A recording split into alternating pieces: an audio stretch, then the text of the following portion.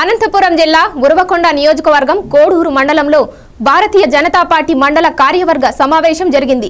ఈ కార్యక్రమంలో బీజేపీ జిల్లా అధ్యక్షులు సంధిరెడ్డి శ్రీనివాసులు బీజేపీ జిల్లా ఉపాధ్యక్షుడు కొనగండ్ల రాజేష్ ముఖ్య అతిథులుగా హాజరయ్యారు. బీజేపీ ఎదుగుదలకు కార్యకర్తలు దృఢంగా పనిచేయాలన్నారు. ప్రజల సమస్యలపై పోరాడాలన్నారు. సీనియర్ నాయకులు మలోబులు రామాంజనేయులు మండల అధ్యక్షుడు ఆంజనేయులు మండల ప్రధాన కార్యదర్శి అవిలికొండ ఈశ్వర్ యువమోర్చా చంద్రశేఖర్ రెడ్డి సందీప్ రాజశేఖర్ రాము అక్కులప్ప కార్యకర్తలు నాయకులు పాల్గొన్నారు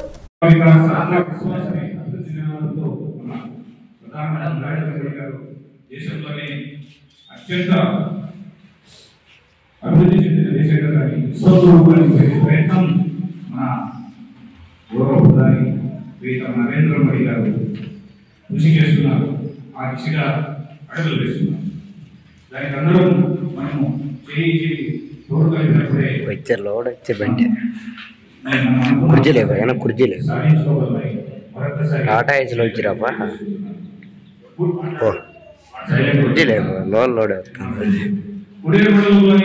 భారతీయ జనతా పార్టీ కార్యకర్తలు నాయకులు మండలంలో ప్రజా సమస్యలపై నిరంతరం పోరాటాలు చేస్తూ ప్రజల పక్షాన్ని నిలబడి తన ధన మన ఆస్తిని అర్పిస్తూ గ్రామ గ్రామాన నిరంతరం పార్టీ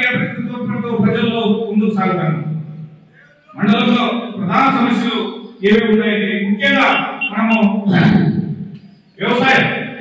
వ్యవసాయమే ప్రధాన మన మండలం. ఇక్కడ